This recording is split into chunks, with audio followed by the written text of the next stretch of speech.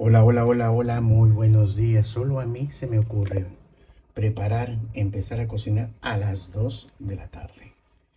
Pero se me ha antojado una sopa menestrón. La sopa menestrón es una fusión de la comida italiana con el uso de la albahaca y de la pasta. ¿Vale? Es una fusión de la comida italiana y peruana. Bien, necesito carne de res carne de res que pondré a hervir. Debo saltear, debo saltear espinaca con albahaca.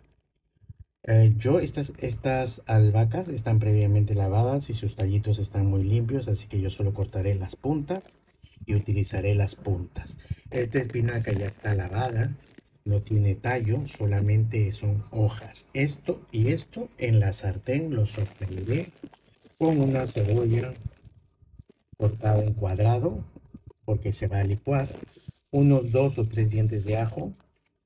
No se preocupen que ajos tengo. Más que nada por aquellos que dicen, oh, no tiene ajo. Y le voy a echar a la sopa, cuando estoy hirviendo esto, la zanahoria y, como no, el choclo. Viene entero, marca Goya, los Andes vienen enteros pero también troceados. Y esta viene de dónde, de dónde, de dónde, producto, producto peruano. Miren, señores, amigos agricultores del Perú, pónganse en contacto ustedes directamente con la empresa y envíen sus productos de exportación. Empiecen a exportar sus productos porque esta empresa debe estar ganando un montón. Un montón porque aquí cuesta carísimo. La yuca o mandioca eh, se pela, se lava, se corta, se quita la semilla, la raíz, va por el centro y se congela. Esta es la forma que yo siempre digo para conservar. Este es de Costa Rica, si no me equivoco. Esta yuca o mandioca, porque es la, es la varias veces la voy comprando, producto de Costa Rica. Mira, Daniel, Felipe, aquí tienes yuca de Costa Rica. Eso irá en la sopa, primero que nada para que cocine bien y para que cocine bien. Lo otro, iré picando col. Col, ¿de cuánto me cuesta este pedacito de col? Un euro con 59. Cuatro, uh, casi ocho soles peruanos. Un nabo entero que cortaré a lo juliana.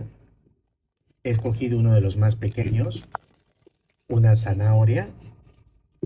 Tengo por aquí perejil que picaré, que eso sí me lo han regalado.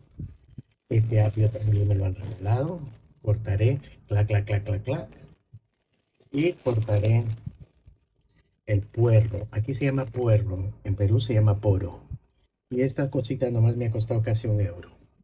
Por eso digo, chicos, chicas, aprovechar todo lo que hay en Perú, en sus países de origen, porque cuando viajan todo está caro. Le meteré dos patatas, no, tres le voy a poner. Tres patatas que cortaré en cuadrado. Patatas tengo. Como no, antes de que me echen raíz, porque ya está echando raíz. Tres patatas.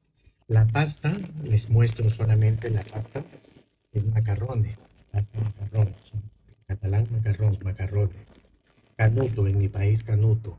Yo ya lo tengo cocinado porque ayer hice tallarines, perdón, macarrones con pollo y me sobró una olla de, macarrones porque usé un paquete y un poco más. Como verán, yo hablo mucho y demasiado. Entonces, no puedo hacer un video corto. Me gustaría mentirles y hablar, pero yo no. Yo detallo todo. Estos son los ingredientes que yo desde aquí, un peruano en Barcelona, en España, en Europa, va a hacer su sopa menestro. Manos a la obra. Ahora sí, vendrán los videitos en pedazos que editaré a través de TikTok.